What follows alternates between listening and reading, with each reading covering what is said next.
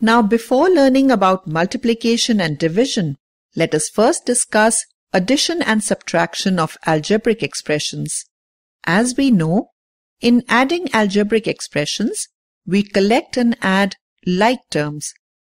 Let us add 3x squared minus 4x plus 1, minus 4x squared plus 5x plus 5, and 2x squared minus 3x minus 2.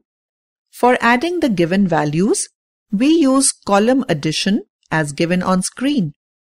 We write the expressions in separate rows with like terms, one below the other, along with their respective signs.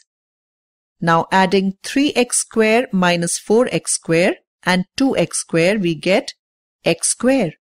When minus 4x, 5x and minus 3x are added, we get minus 2x and lastly adding 1, 5 and minus 2 we get 4.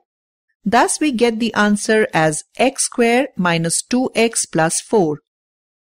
After addition, let us perform subtraction of minus 2xy square plus 5x minus 3xy plus 2x square y minus 8y plus 7 from 3x square y plus xy square minus 2xy plus 2x minus 3y plus 1.